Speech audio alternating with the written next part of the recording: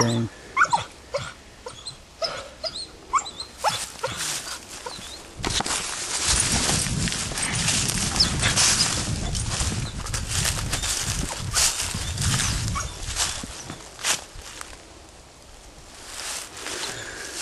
This deer was shot last night, uh, right before dark.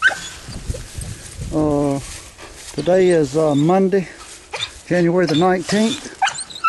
Gentleman shot it before dark yesterday afternoon. They tracked it in here, lost the blood, decided to wait and uh, get the dogs on it this morning. It is now 1 o'clock.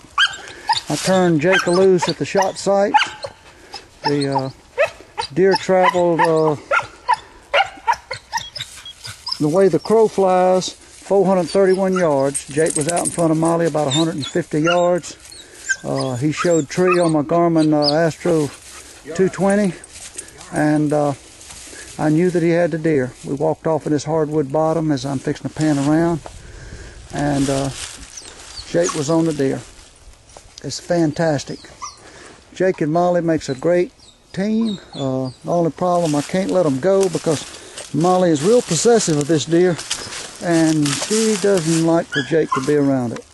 And Jake is getting to the age that uh, he's, he's not no pushover anymore. This looked like a nice buck. Uh, I'm glad we were able to find it. Uh, let me get another clip of this Astro collar on my dog here. Uh, I was hoping this deer would be uh, I was hoping this deer would be alive so we can get some bay in action. But anyway, it didn't work out that way. My battery's getting low. I'm going to lose it any minute. And here's Molly up here on the hill with the hunter that shot the deer.